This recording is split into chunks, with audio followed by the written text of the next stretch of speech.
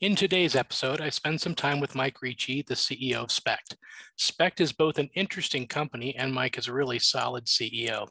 SPECT originally sprung from Y Combinator and is still based in Palo Alto. The company is applying artificial intelligence and basic cell phone optics to easily and inexpensively diagnose eye disease. The result is that specialists have more effectively filtered patients, costs are lower, and it turns out the eye is an incredible gateway to disease diagnosis and prediction. So there is a very viable long-term data business underneath the surface here. Join me to learn more about this terrific little company in the eye health space. You're listening to Innovation for Alpha, where we explore everything at the intersection of healthcare innovation and finance. Through our discussions and interviews, we keep you informed and educated about healthcare innovations, next level venture investing, and everything involving the combination of the two. Hi, I'm Tobin Arthur with Innovation for Alpha, a podcast sponsored by Angel MD, and I am joined today by Mike Ricci, who I've come to know over the months is an entrepreneur leading a company called Spect. And it's a very interesting company. And Mike's a great guy. And I'm really pleased to have you, Mike, today just to spend a little time talking about yourself and the company. So thanks for joining me. Pleased to be here, Tobin. Let's jump in, Mike. Just give a little bit of background to our audience. What you know, what's your career been like? Yeah, so I have perhaps a little bit of unique career for this space. I'm a double E by nature. So you think, what's a double E doing in this space? When I started out altruistically after I graduated from college, I wanted to connect the world. I spent the first portion of my career doing communications technology, wired, wireless of all forms. Sold one of my companies, migrated into senior management roles, was CEO of a company that I sold a little over a decade or so ago. And when I did that, I stood back and said, what do I want to do next? I wanted to sort of make a career change and I looked at a lot of different segments and I realized that while I was excited I'd connected the world, I looked at what's being connected, a lot of social media, a lot of other things that smart devices are being used for. And I said, hey, maybe there's a better use of all these platforms now that half the planet's connected. And so I went into specifically digital health and mobile health and started a company early on with a friend who was a doctor. Have quite a few friends. A brother is a doctor, so medical medical space made a lot of sense. We were fledglings. We did, created a technology company that connected people. We really, you know, were unique. Didn't understand exactly how it worked, and it was a great learning experience. It also got me my CTO, who went with me to another partnership with another friend doctor, and that one actually is now at a C round. It's doing quite well and it is a mobile app that does physical recovery, physical therapy for those who need it. And it does it using AI and machine learning on your phone, on your smart device, and it's getting great traction. And then what brought me here, I actually decided at that point I was going to just consult and just help young companies grow. And I met a company called Spect, and I initially really liked the team. I liked the mission and started consulting with them. And as time went on, I ended up doing more and more and sort of migrated to a COO role with the business plan, same thing I'd done for my other companies. And got pretty excited about it. And then I was somewhat surprised a year and a half ago when the one of the co-founders, they made me a co-founder because I've been there three years. I was early on in the company. Decided to finish his ophthalmology degree or his residency and asked me if I'd run the company. Glutton for punishment. So here I am running the company having a great time and quite excited about where we're headed. That's cool. It's a it's a good journey. And have you always been from the Bay Area, or was that because of career at some point? Grew up in Southern California. Went to school up here in the Bay Area. Have been here for all but three years in Austin, Texas. Went with the company I was working for there and came back. But pretty much been a Bay Area for the majority of my life. Got it. Maybe just give a little semblance of your you know hobbies, family, kind of stuff outside of work. What are what are your interests besides uh, what you're working on? Sure. So, um, got a family of four, which is huge these days. Didn't seem like that when I had them. And my hobbies, I am an avid amateur swimmer. So I won't say I'm pro level, but I swim pretty regularly. I can, you know, go in and do my workout. It's a good way to meditate and get your brain clear. I love amateur photography. I've done some trips to great places in the world and done, you know, pictures. I know you can do a lot of it on iPhone, but I still like carrying my lenses around and all that stuff. And then we had a lot of theater in our family, so I'm pretty much of a theater fan, hoping for that'll come back, uh, more live theater than anything else.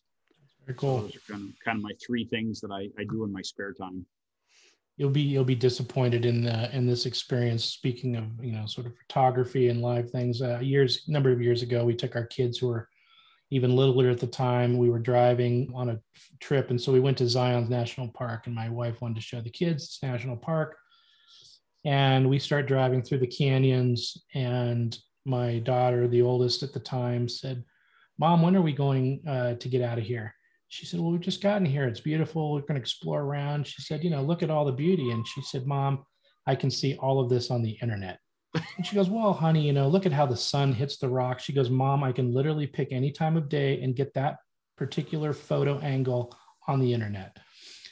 And my wife and I thought, oh crap, this generation of kids are doomed. Yeah, it, it's still a challenge. You have to sort of appreciate the beauty of nature. COVID's helped with that a bit. I think we're all sort of yeah. appreciating things a little more. So. Yeah, I think that's right.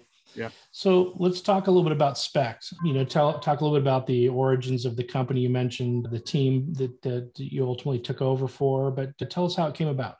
Yeah, so one of the things I love about the company is the mission, which is to prevent blindness. Turns out the same co founder who's finishing his ophthalmology residency had a grandfather in India who treated many, many patients for a disease called diabetes, which we all unfortunately know about. And one in three Americans is either diabetic or pre diabetic, sad statistics.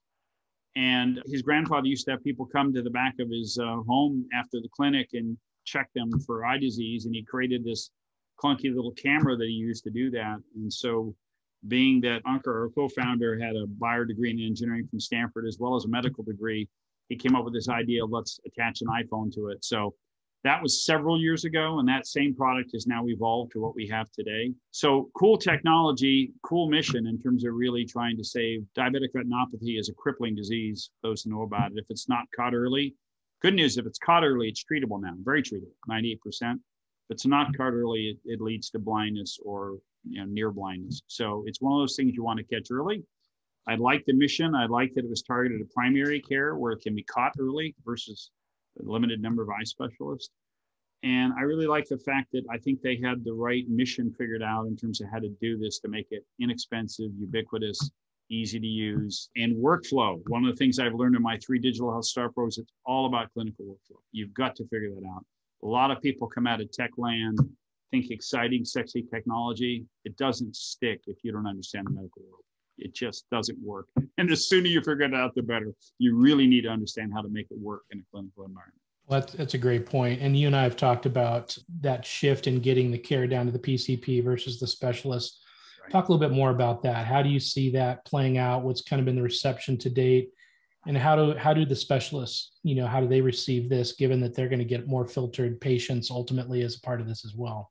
Yeah, we've had great great excitement and acceptance. So primary care is looking to improve the quality of care. They're looking to improve reimbursement, which it turns out because ID exams are just not done in primary care, they get the benefit of either being paid for it as a service, they improve their quality scores, which is a big deal, and they also can uh, develop a good referral network to S specialists. We're not replacing a specialist, we're screening. We're not pretending to replace a specialist. Our device is quite good, but it's not meant to replace a hundred thousand dollar camera in their office. It's not meant to replace, you know, the high-end fundus or even certainly not OCTs. So from that standpoint, they like it because they can improve quality care. It's reimbursable. And the referral network, the ophthalmologists, they want to treat patients. They don't really want to screen for this disease. So we actually sort of give them hot referrals in of people they already know they need to see. So they like this network as well.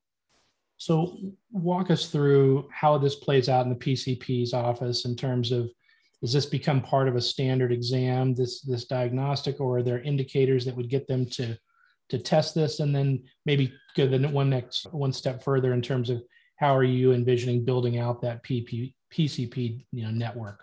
Yeah, so it would fit in a standard exam. Matter of fact, the I think the beauty of our technology, and once again, it's an iPhone with a lens, and it's really we're a software company more than a hardware company. We actually license the hardware with the software, so you just pay a monthly fee and you get used to the device. The beauty of it is it's very easy to use, and so it's designed for the same person who takes your blood pressure.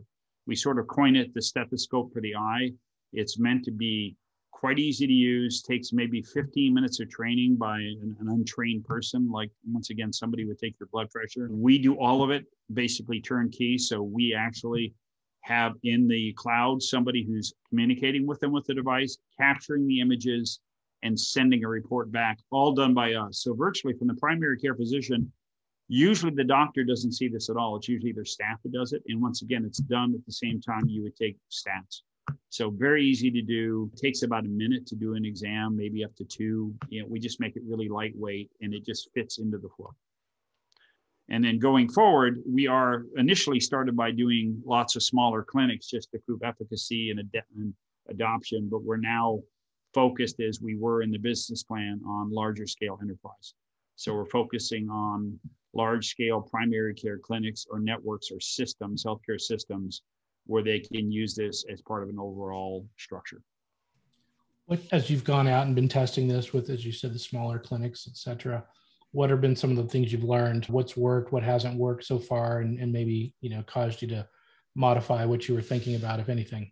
Yeah it's interesting. Uh, one of the things i i keep relearning but i walked in knowing this is after my two of these startups once again it's all about empathy and understanding every little potential speed bump along the way of really listening to understand how it works within the clinic and making sure you really because the doctor may love it but if the person who's doing the test thinks it's awkward, it'll not get adopted. It, it absolutely, the way it works, and, and, they, they will listen to their staff because they need their staff. So we've learned to fine tune it. One of the key learnings came about from COVID, and that is we were launching right around when COVID hit with the idea of being in clinic. And guess what? No more in clinic.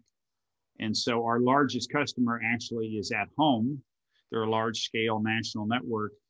And we had envisioned in clinic that we'd say, okay, tell us who you're going to screen tomorrow because you have all your appointments set up and we'll sort of prep for it since we do all of it kind of on our end.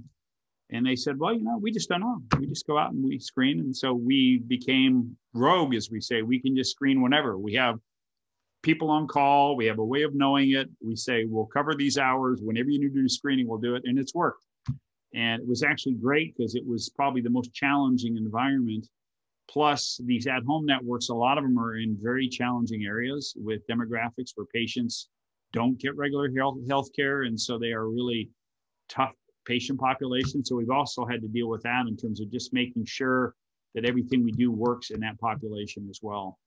And I'm proud to say right now we're getting north of 95% of the time we take a screening, we get a screening, which is unheard of in terms of anyone who's trying to do this. So I think we're quite unique in that space.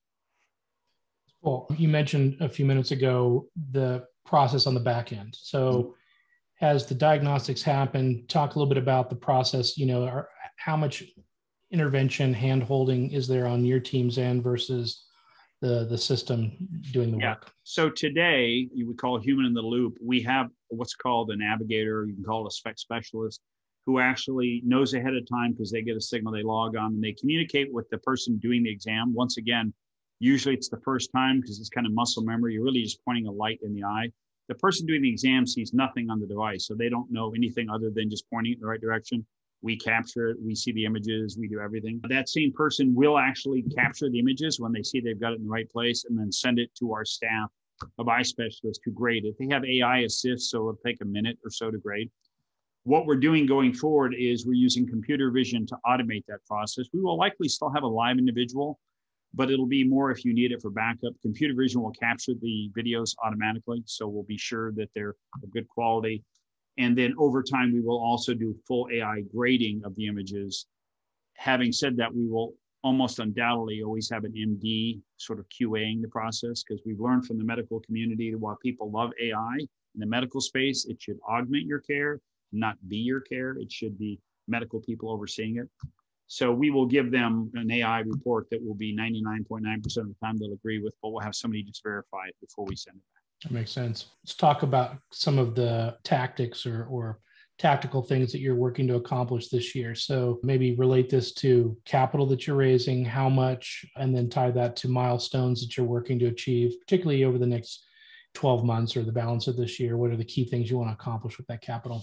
Sure. So we're actually just capping off our seed fund, which is uh, almost closed within the next 30 days or so. And our focus right now is using that funding to add a little more staff, build out the C-suite a little bit, bring on a sales exec. I've been doing it all, which is fine. I've got background, but it'd be good to have somebody who comes more steeped in that background. We have a few more people to add on development, on support. So it'll be sort of building that out. The other key objective for the year is close a few more what I call logo accounts, which are accounts that like the one we have, which um, I'm not sure I have the ability to do a press release on this podcast for, but it's a tier one account that has a very large backer and a number one tier one payer. Uh, close a few more of those just to prove the scalability of the product. We will work on sort of the cost reduction methodology. I mentioned the computer vision piece, which is actually already in progress.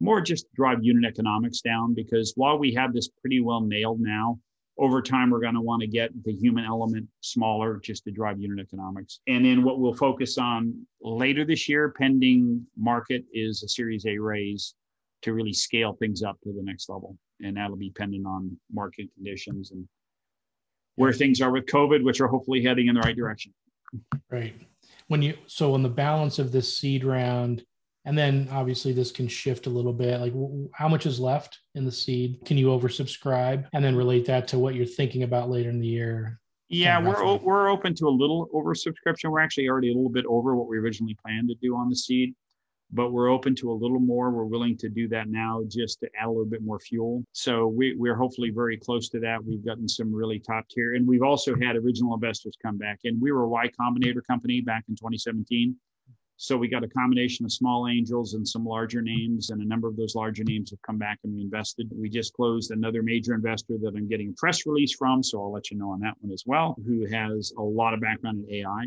So that's actually a nice technical advancement. It's good validation. Um, so we're, we're, we're in pretty good shape with this one, but we would probably look for a little bit more oversubscription just because of the amount of work we want to. It's all about scale this year. It's all about scaling it up. And yep. so I want to make sure that I'm funding the company properly and not starving in any way. We've been a pretty frugal startup up to now, and now's the time to hit the accelerator. Yeah, makes sense. Why don't we just talk a little bit about two things to kind of wrap this up technically or tactically? So, we recently did a, a readiness evaluation, as we're calling them, but we had the Angel MD Expert Network. Typically, about two thirds of the participants in these evaluations are, are physicians and then afterwards, we look at what kinds of insights. Were there any things that came out of that evaluation that not necessarily were surprising, but things that might be actionable or help you either tactically or even just in the way you present the story? Absolutely. Very valuable tool. We had the benefit of having a dozen or so clinical and other experts look at the material. And the key message, if I were to bring it up a level, is just messaging. So there were quite a few things we just realized we can be a little crisper on, even value prop things about the value. You asked about the value to the to the eye specialist, to the ophthalmologist, making that clear, making clear how we're differentiated. Because we had a number of people said, "Oh, well, can anybody do this?"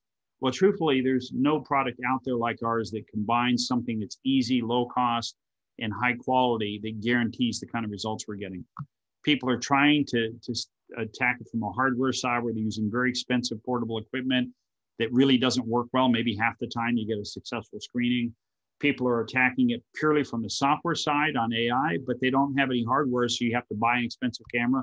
No primary care clinic is going to buy an expensive camera. They don't have capital, they don't have people. So you really need to understand that market. So some of that messaging that came back was really useful because even though we knew it, we clearly hadn't made it clear enough in our messaging. So there were a couple areas I think that we thought we needed to maybe brush up a little bit more on, just making clear on the business plan, how it works, how it scales. But to me, it was more about the messaging component. Good. Well, and I think that, you know, for all of us, we tend to hear our own message a lot. So sometimes useful to get that little bit of objective. So if you fast forward, you know, one thing I, I think investors, you know, first of all, appreciate the thoughtfulness around the company and the depth that, that's been applied. You know, you're experience and background and the mission of this business. If you fast forward five years and look back on this, what does success look like? What will you have hoped to accomplish, you know, for yourself, the, the, the founding and managing team, the shareholders, however you, you might think about that? What's the goal here, you know, both personally as well as yeah. Uh, for the business? Yeah, I have actually, it's kind of multifaceted. As I said at the beginning of the call, I personally wanted to sort of bring some of my learnings to the team as well. It tends to be a very bright, talented, but younger team. Very skilled, very good at what they do, very committed to what they do. And so some of the learnings of how we work as a team and how I can sort of mentor the team has been very fulfilling. Just looking at the mission of the company, I haven't talked at all in this call about sort of the longer term vision, but right now there's a great opportunity in doing eye screening, not only in terms of you know preventing blindness, but it's a good and very profitable uh, segment. But as we capture this data, and particularly because we're doing it in a unique way with video clips, we're capturing vast amount of data. And it turns out the retina is actually being pretty well researched as a biomarker for a number of other diseases. It's a fascinating structure, I would argue, behind the brain in terms of fascination of the human body. It's really just an incredible organ. And the fact that you can gather that data will make the data we're gathering extremely valuable. So I think longer term, the, the company has great potential that way. To me, to be able to look back on that and say we created a company that had a philanthropic mission of preventing blindness, which is you know, I threw out the number of one in three Americans. There's 400 million diabetics in the world. This problem is not getting better. So we can have a huge impact on the health of the of the planet, basically, and at the same time, we can create what I think is a very exciting business plan. And when this data gets captured, I think the value of this retina data can help with numerous other disease states, pharma, the payer side, in terms of really creating insights into how we can cure other diseases. So I, I think it's a very exciting story that has tremendous upside on the business aspect and tremendous upside in terms of what we can do kind of to help the planet. That's cool. People on the planet. what if if folks wanted to learn more about the company? Is there a website? Where would you direct them? Yes, there is a website that I will tell you up front is fairly stealth. We are building it out. We're going to do some press release as soon as we close some of the seed, but it's called GetSpect, G-E-T-S-P-E-C-T dot com. So www.getspect.com. Spec like spectacles. You'll see that website is is is not once again it's fairly shallow and stealthy. But anyone who wants to reach out to me directly, and I'm assuming Tobin, we can give him my email as a result of this as part of the link feel free to reach out to me directly and I'd be delighted to have a call with you. Probably a Zoom call for now until we can meet in person pretty soon and just tell you more about the company, what we're doing, the mission for the company, whether you're an investor or whether you're just somebody interested in what we're doing. We'll put uh, we'll put a link to the uh, website, and then as these new announcements are ready, we'll update the show notes to include those links to make it easy for people. In addition to capital, what what kinds of, of folks that might be listening to this could be helpful? Are there other things that that you would need introductions to or that could help facilitate expediency? Yeah, so certainly if, if this goes out to the Angel MD network, which you're part of, any introductions you have relative to opportunities, always welcome. We find a lot of our best opportunities come from our our clinical uh, advisors. We actually have about 40 in the company now that are advising the company. So anyone in this network that knows of leads that we can go speak to would be very valuable anyone who can forward talent our way. The talent we'll be looking for, once again, sales, which I'm actually just embarking on that search right now. And then anyone who comes with more software probably isn't as good a fit, but we already have leads on that as well in terms of just building out the technology. You know, one last thing it, it made me uh, think of as you think about leads. So, who ultimately, as this company matures, who who ultimately would be a, a good buyer for this company to, to take it to the next level. Do you have any thoughts on that? Yeah, I, I have thoughts. It could be, it could go one of several ways. It could go all the way from a pure tech giant like an Apple or somebody else who's getting, as you know, very deep in healthcare. The whole purpose of the watch is healthcare, right? So an Apple, hell, an Amazon, the way they're going. And I could also argue it could be a big pharma because once again, the mm-hmm. value of this data to pharma, you know, it's all data when it comes to pharmaceuticals in terms of their research. And I would argue one other segment could be the payer segment, not necessarily to buy it outright, but certainly to endorse it in terms of how it could be helpful in that segment. Because once again, the cost savings alone of avoiding these eye surgeries, it's, it's huge. So. Love it. Well, Mike, is there anything else you can think of that you might want to share that I didn't ask? I think you've done a really good job. You know, we're excited to to have the interest. We're excited to be part of the Angel MD network. It's already been very valuable to us in terms of the connections. I think just kind of blending the medical background with some pretty strong tech background we have as well gives the company really good backing. And once again, we have quite a few advisors. those who think they might want to be an advisor to the company as well. Once again, we, we have quite a few, but we're always looking for more. Let us know as well. Great. Well, Mike, it's uh, always a pleasure. We think very highly of you and, and two of our, our favorites, and, and the combination's even better. So thanks for taking some time today, just sharing a little bit. And we hope to continue to get the word out and uh, get people to know a little bit more about the company and, and encourage people to lean in in whatever area is of interest to them. So thanks again. And we'll, we'll follow up with the links and everything so that people can reach out. Thank you, Tobin. Always a pleasure. Okay, Mike, take care. Take care. See you again soon for the next episode of Innovation for Alpha. Make sure to go to Innovation for Alpha for access to prior episode links, show notes, and other valuable resources.